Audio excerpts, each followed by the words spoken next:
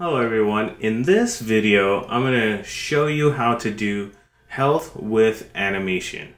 So uh, it's really a, a, cool trick that I've used over and over again in the different types of exercises that I do and uh, what it does is we are going to play around with the frames of an animation to show how much health you have. So um, what we need to do is make sure you have something that signifies health and uh, I, I will have a link to an image in the description for you to click to get some hearts if you want to use those. So um, let's go ahead and start. Uh, so I'm gonna go ahead and add a new layer, call it HUD, because I, I, want it to be part of the HUD. Uh, things that we normally would do is uh, make the parallax zero zero, and that's where the hearts are going to be. And what I need to do is also create a quick character, some sort of indicator that I lose a health. Okay, so um, I'm gonna go ahead and quickly make that where we have sprites. And so our sprite here is gonna be character. So let's go ahead and make a, a quick main character. Uh, we're gonna go blue this time. And we're gonna go ahead and do this. And I'm going to add the behavior of platform. And then we are going to go into the sprite and add a platform for it to land on. And then make that a solid for now. There we go. And then we are going to have something that signifies I lose a life. So I'm just gonna make something that's just red. So I'm just gonna call this, uh, uh, let's just call it, um, lava, I guess? I don't know, something. I'm running out of ideas on that name. So uh, we're just gonna stick with that. And I'll just kind of do something like this. And it's just more if I touch this red, I am gonna lose some health. So maybe it's like a little pool there type of thing or whatever it is. Okay, so now I have this and I could now jump into my HUD. And once we grab that file, we're gonna play around with the animation and go from there. Now, uh, if we're gonna double click, let's go ahead and just make that. I'm gonna click on sprite and I'm just gonna call this health meter and it'll eventually go to the top left or so. So I'm gonna leave that there and what I'm gonna do is I'm just going to click on opening this file and I am going to my health and I got a bunch of options here. I got one that's like starting with two, one with one. I'm gonna grab the one one. I'll have all of these available for you to play with, but um, once you add this in here, you're gonna see this. So let's say you had, you wanted like three lives or something like that. What I do is I just make copies of this and put it next to each other. However, before you do all that, we need to make the width of this a little bit longer.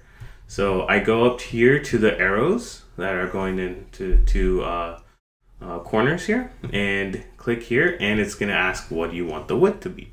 So I'm just gonna go ahead and do 400 for now. Oops, sorry, I messed that up. We're gonna click in here and we're gonna do 400, except right here, we're just going to align it to the center for now.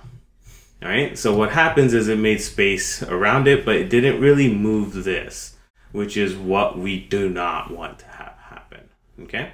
Now, what we can do is use the selection tool, which is the dotted line up there. It's a rectangular one you click on that and we're gonna just go ahead and select this here. And when you have this hovered, you could use copy paste. So the cool thing is when you copy, you could hit paste and now you have this. The only thing is you cannot move it after the fact uh, easily. So what you wanna do is make sure you just grab it and move it to where it makes sense for you.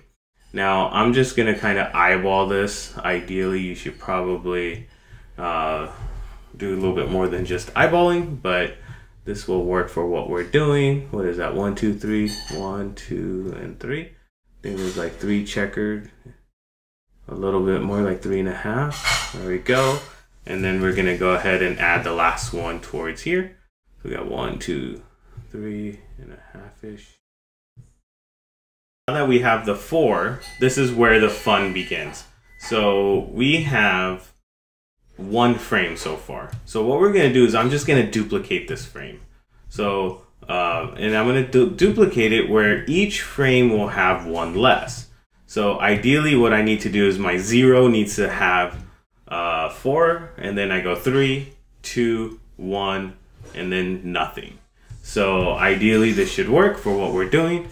And then the easy, this is the part that makes it really fun and quick, is now we get to delete some. So click on the one frame and we just got to get rid of one of the hearts. So I just go here to my erase tool and you could easily just erase this.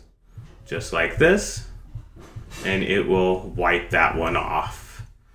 All right, and then you go to the frame two and you do that for two of them and you could do this faster but this will work for what we're doing.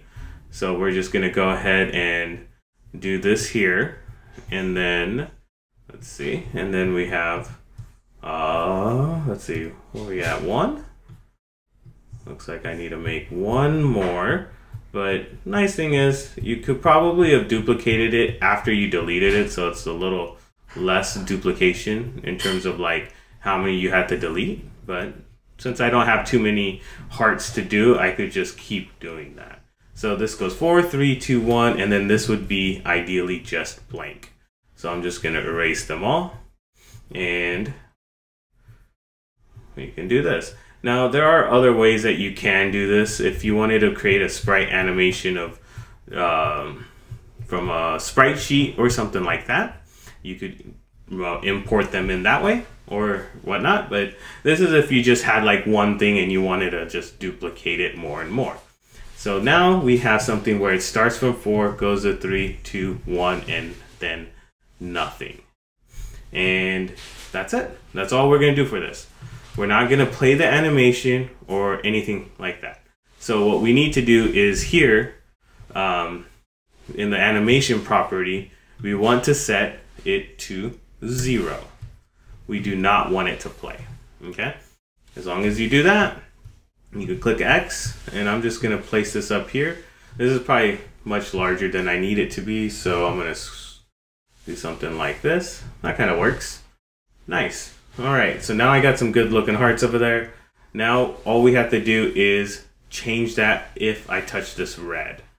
So let's go ahead and jump into the event sheet and in here, you're gonna click on add event and we're just gonna say, hey, if my character collides with lava, I'm gonna lose a health. Uh, and the thing is, we need to know how much health we have. So let's go ahead and make a global variable real quick and we're just gonna call it health and we're gonna have four hearts. Okay, right there. So now in here, when we collide with lava, what we're going to do is first subtract 1 in our global variable. So subtract from health by 1. And then we're going to go to the health meter and we're going to set the frame of the animation to a number. Now, this is where we have to remember it starts with 0. So if we had four health, which is the zero frame, we and we lose one, three would go into frame one.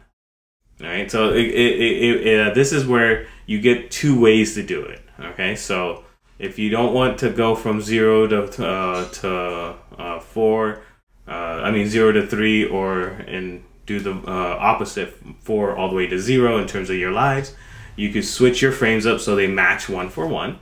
Or in this case, I could just say that I could I want it to go to a particular frame set. All right? But we can't just put one. What we need to do is we need to understand what it is based off of health. So I'm going to X out of this for a second and go back to my layout because ideally we need to flip this. So it makes a little bit easier sense for everybody. So we're just going to move this over here and we're going to make it where all this goes in order. And that way we could just say, okay, we're just going to, whatever your health is, we already know what frame it's going to be. And that's it. So this is what I meant. You could have done the, the other way, but this way is a little bit easier. So we're just going to flip that up. And then uh, notice how nothing shows up there. That's something that is, uh, you got to make sure um, you realize you need to then add a new event. So let's go ahead and add that event real quick. We're going to add uh, on start of layout. And in this one, we are just going to say the health meter is set to frame of health. And when we do that and hit play, it's going to show up 4. Now, it, it slightly got moved off the screen. I'm not sure why. So let's go ahead and place that back there. So now what we do is anytime we collide with lava, we subtract one from health and we just move this here. There we go. So now, when I play this, oh, I lost one. Oh, lost another one. Oh, there you go. And there you go. And that's what lets you kind of tweak with uh, using animation to create something that's just, you know, a little bit uh, nicer to see visually. Now, I feel like I had some sort of, I think I missed erasing some areas. So it's always important to make sure you erase everything. Uh, and, you know, just make sure you check that. But um, now I have some health and I can go and then you would have a game over screen and so forth. All right, so uh, just to kind of conclude what we did, we really just focused on building this out. So we went from zero being nothing to one, two, three, four. You could flip it, you just got to remind yourself about that. This is a lot easier to keep track of so you don't forget. And doing it this way, you got to make sure your event sheet, you have your on start of layout with health. And I'm just going to move this up so we order it a little better. And anytime I touch lava, subtract one from health, set animation frame to health. And that's it. So I can go out, make really cool uh, little health meters and so forth, and have a little fun with it. So that concludes this video. We'll see you next time.